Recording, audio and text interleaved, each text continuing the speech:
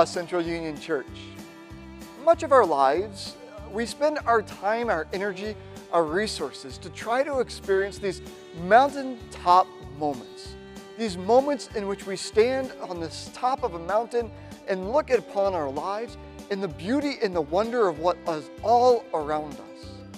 Well, today I'm in the parish hall standing high above, looking around and realizing that this metaphor of a ladder is one that we have used about business and life and the purpose of our lives. Are we climbing the ladder of success? Oftentimes, that's a great question, but a deeper question is always asked of us. What do we hope to gain from climbing that ladder?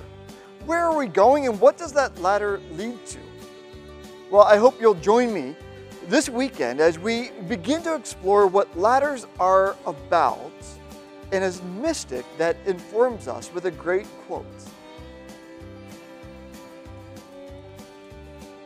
And so this weekend, we're going to study another mystic by the name of Thomas Merton, a Trappist monk from the last century, in which he has many profound things to say, but one uh, is one about ladders. When he says that it's a shame when we spend all our lives climbing the ladder of success to find out that it's leaning against the wrong wall.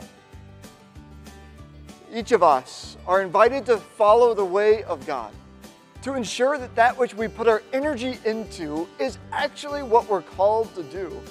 And so I hope you'll join me at 7 o'clock, 9 o'clock, or 11 o'clock as we discover this mystic that infuses life into us and invites us to taste the divine.